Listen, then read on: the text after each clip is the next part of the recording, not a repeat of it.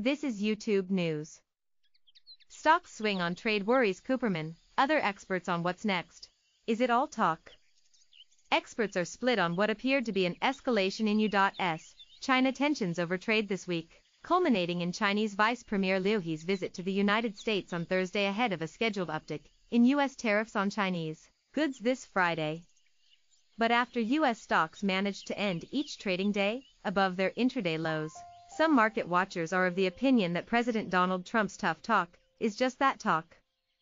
Here's what five experts, including renowned investors Leon Cooperman and Mario Gabelli, said about the conflict. David Rosenberg, chief economist at Canadian wealth management firm Gluskin was one of the more bearish voices. China will pay and consumers and businesses in the US will pay. It'll be mutually shared pain. I think that if we go this route and you do the bean count in terms of the US putting on the tariffs and China retaliating, you could probably shave about a half a percentage point off US GDP growth.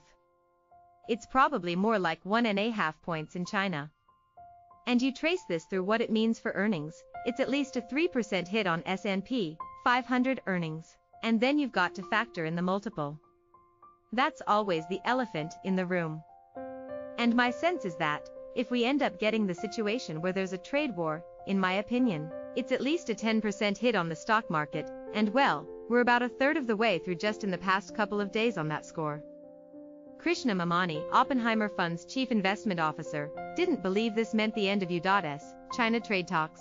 The fact that we have a tariff today doesn't preclude the likelihood of reaching some sort of a settlement in the not-too-distant future. Come back to the motivations.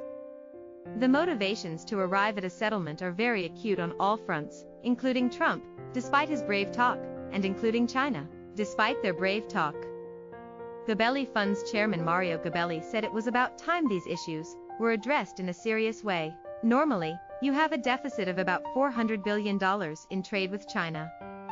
You have unfairness. It's time that somebody arm wrestled the issue. So we grew up in a period like the 1930s, where Smoot-Hawley created extremely hostile economic conditions.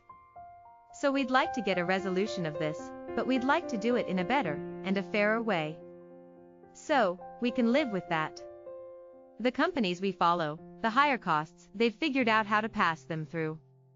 Leon Cooperman, chairman of Omega Family Office, agreed with Gabelli, but said the alternative could be dire for markets. If they put on the tariffs they're talking about, you're adding a couple of tenths of a percent to inflation. You take away maybe half a percent from GDP, and you can probably clip the S&P 500 earnings by 5 bucks. So it's a negative. And 5 bucks times 17 is 100 points on the S&P. You've corrected 100 points already. It's not a positive, there's no question about it, but I think Mario referenced it. It's something that we have to do, and hopefully we can resolve it in a favorable way. Destination Wealth Management founder and CEO Michael Yoshikami ran with the bulls. The market bouncing back, it's not unreasonable. I think the market actually going down is more unreasonable. And I think this is an opportunity for investors when market participants overreact based on a view that a deal's not going to get done. Because, I think that a deal is going to get done. YouTube News